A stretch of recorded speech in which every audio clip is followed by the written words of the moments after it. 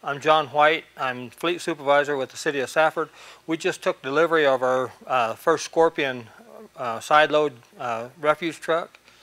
It's um, we've been had good relations with uh, Arizona Refuse for several years. Um, a we've built a, a, good rapport with them. We know everybody involved in the, the manufacture of this truck. We've um, we've basically seen the manufacturer from the start of it until now, till we finally took delivery. Uh, when it was just a concept in Paul Campbell's mind, really. I mean, when he first started putting it on paper, we got to see it. And the safety features that he has incorporated into this truck is one of the big features that we went for. Uh, he thought about the operator, he thought about the mechanic, he thought about everybody involved in this truck, the simplicity of being able to repair it and diagnose what the problems are with it. And it was an easy sell for us. We, uh, as the mechanics, we could see the, the benefits. And, and I was one of the main driving forces to go to the Scorpion body, even though it's a new design, new body. Uh, we just liked what he had brought to the table. And, and when we sold it to our uh, management, upper management, it was because of the um, safety features and actually the repair simplicity on the on the machine. We uh, and the big, but the big factor is the rela relationship that you can build with Arizona Re uh, Refuse. Uh, if you need to call down and talk to somebody, if, if you need to talk to Paul Campbell, you ask for Paul Campbell and, and they will put him on the phone.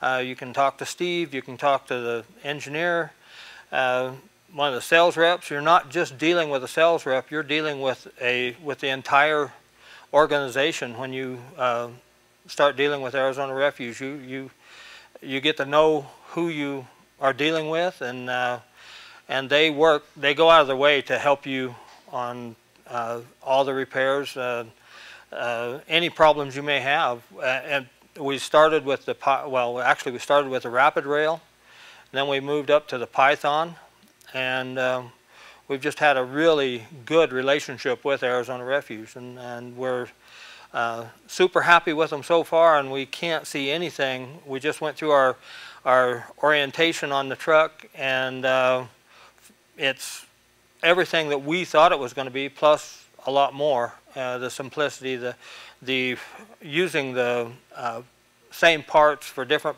functions on the truck. You don't have to have a whole bunch of inventory. And just knowing the people that we're dealing with, we really like what, what we see. Before Arizona Refuse started building this truck, uh, we dealt with them for parts and service on other brands, the, the other uh, refuse trucks that we have and uh, we've always had good rapport with them. They've always gone out of their way to try to help solve any problems we had.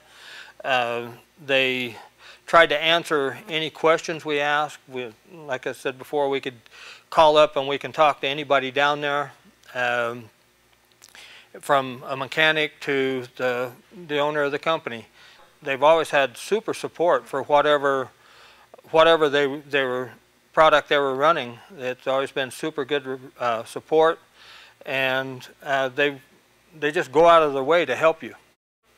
And it helps uh, us to to know that we have somebody reliable uh, that we can call and and whenever whatever need we have. On this Scorpion, the, the some of the big factors that we that really were sellers on uh, for us was the fact that the operator never needs to be in the hopper. Uh, if he drops a can, he can re reverse the packer blade and it'll pull the can back up out of the hopper. The fact that there are no holes in the body of the truck, it's um, there's there's you don't have a bunch of places for garbage to hang up and get packed in around it and, and you have no inside bearings. Everything is on the outside of this truck. Uh, your, all of your cylinders are on the outside. Uh, your, uh, all the wiring, uh, you don't have to worry about what's inside the truck because everything that you're going to have to repair is on the outside. The um, simplicity for the operator, I keep using that word simplicity, but that's what the truck is. It, it makes it easier for everybody involved, from the operator to the mechanic. Uh, it's just uh, a good design. I mean, uh, there, uh, I don't know where you're going to get a three-year leak-proof guarantee on hydraulics, except for here. It's the only one I've heard of, but on this truck you do. You get a three-year leak-proof guarantee. And it's all powder-coated. Even the hydraulic lines are, have a clear powder coat on them. Uh, they're, all the hoses are routed where they don't wear. Uh, they don't, they've tried to avoid any rubs. Um, it's uh, just a, they put a lot of thought into the maintenance of the truck on uh, the grease vac, uh, greasing the truck. I mean, it's a once a week, everything is from ground level. Uh, you don't have to climb up on top of the truck to grease it. You don't have to climb underneath it to grease it. It's all ground level, all on the outside. All of those features are um, super features for maintenance. And the tailgate, when you open the tailgate, the props on the tailgate, you don't have to get your body in any position to be pinched by the tailgate if something failed. It's uh, everything is from the side and, and nothing from underneath. Um, they lock good. They they're uh, a, a, solid support. Um, our truck has a tag axle on the back uh, because we go go into tight areas in tight cul-de-sacs and, and we have a tag axle that can be lifted off the ground when they make their tight turn. It makes it where you don't drag the tires going through the cul-de-sacs. Um, it's just uh, a really nice truck for, for our use especially. We've got, a, it's a 27 yard body with a, uh, a four yard hopper, gives you a 31 capacity.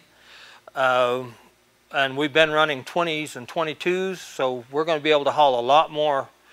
It's going to be uh, a lot less trips to the landfill, a lot more productive time on the route. We just can't wait to get it out on the route.